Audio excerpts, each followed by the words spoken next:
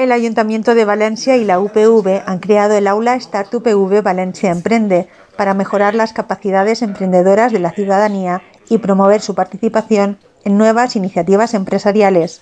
El teniente de alcalde del Ayuntamiento de Valencia, Borja San Juan, ha destacado la importancia de las universidades públicas valencianas y en concreto de la UPV para afianzar un modelo de ciudad que ofrezca oportunidades para todas las personas.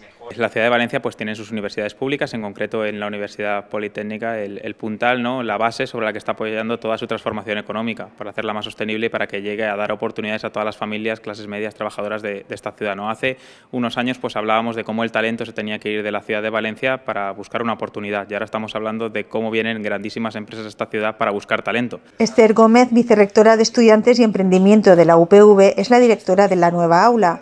Impulsar las iniciativas de mujeres y personas jóvenes es uno de los retos que se proponen.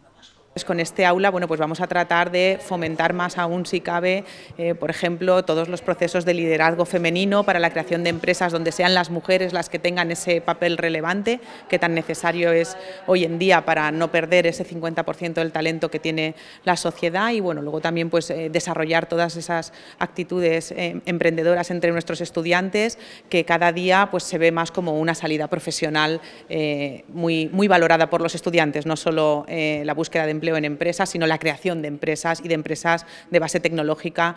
El rector de la Universidad Politécnica de Valencia, José Capilla, y el teniente de alcalde del Ayuntamiento de Valencia, Borja San Juan, han formalizado la creación del aula con la firma de un convenio. Al finalizar han visitado las instalaciones de Start UPV en el campus de Vera.